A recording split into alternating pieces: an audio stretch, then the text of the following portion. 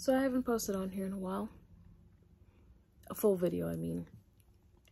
So this is going to be completely unedited because I've been posting on TikTok a lot. I've been posting on Instagram, Facebook, all of that. So you guys get updates about my life. But with all the shorts that I've been posting here on YouTube, those are the ones that just because they get the most views doesn't mean that they're popular or anything like that. But that's what I've been going through. That's what I've been feeling most of the time.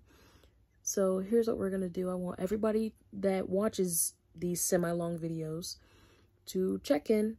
Tell me how you're doing. Leave me emoji in the comments. Tell me how's it going for you. How's your job going? How's your family doing? How's everything doing with you? And I will be replying back to every single one because no matter which platform it's on, it seems that some people are doing great. Some people are not doing as well as they should be. And I want to make sure that everybody is keeping up the positivity if your job has fired you, I want to make sure that we're keeping up with the petty.